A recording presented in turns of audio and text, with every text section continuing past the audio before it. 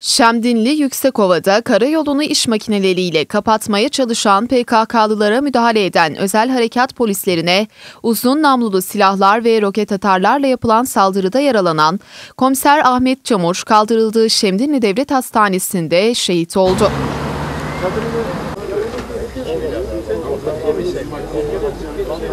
Ahmet Çamur'un şehit olduğu haberi Samsun'un Atakum ilçesi Mimar Sinan mahallesindeki ailesini ziyarete gelen eşi Gökçen Çamur'a emniyet yetkililerince verildi.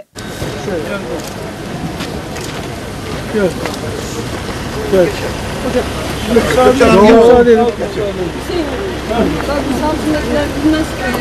Biz onu organize edeceğiz. Biz onu Gökçen Çamur'un Ankara'da hakimlik yaptığı ve 3 kız çocuklarının bulunduğu öğrenildi.